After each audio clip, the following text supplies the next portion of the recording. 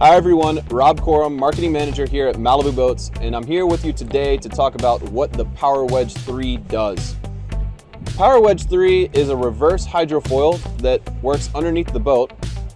It changes the shape and the size of the pocket of the surf wave on either side of the boat, so it works symmetrical and the pocket itself changes. On a lower setting, such as one or two, the wave is mellower and longer. So the pocket is a lot longer, but the wave itself doesn't quite have as much push. If you go up in settings to like a four or five, then the wave actually shortens up a little bit and becomes much, much steeper with a lot more push off the back. And that's how Power Wedge 3 works.